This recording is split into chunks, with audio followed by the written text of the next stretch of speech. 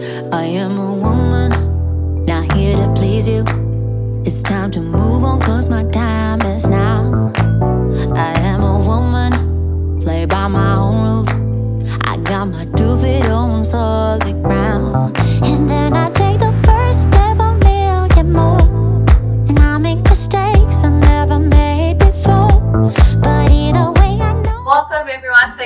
for honoring me today. Thank you for coming to Bridge the Gap Empowering Professionals. So we're going to start off with sip and paint.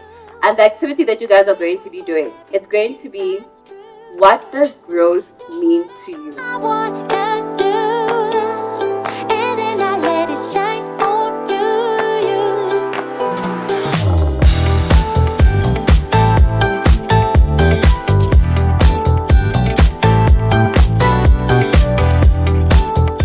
Need to set a goal in each area so that you can grow holistically.